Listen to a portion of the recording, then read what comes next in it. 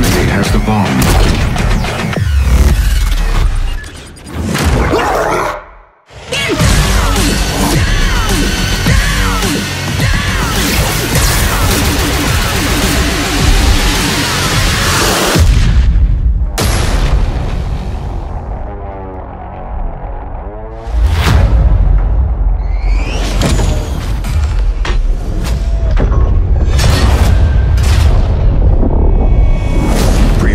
Get access to the multiplayer beta.